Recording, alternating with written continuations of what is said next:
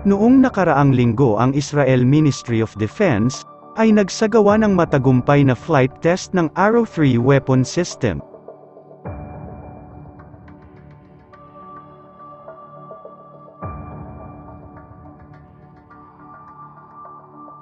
Israel Defense Minister said, Citron 3C4I system sa gitna ng Arrow weapon system, ay gumagawa at namamahala sa lahat ng impormasyong kinakailangan para sa pagharang ng mga ballistic missiles sa labas ng atmosfera ng mundo.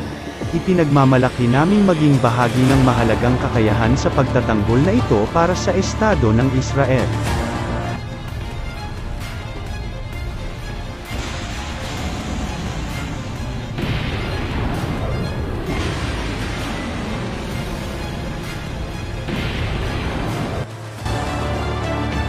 Pinakamagandang missile system ito ng Israel, dahil kaya nitong harangan o pasabugin ang mga ballistic missile, na paparating ng 150 kilometro ang layo within 5 minutes.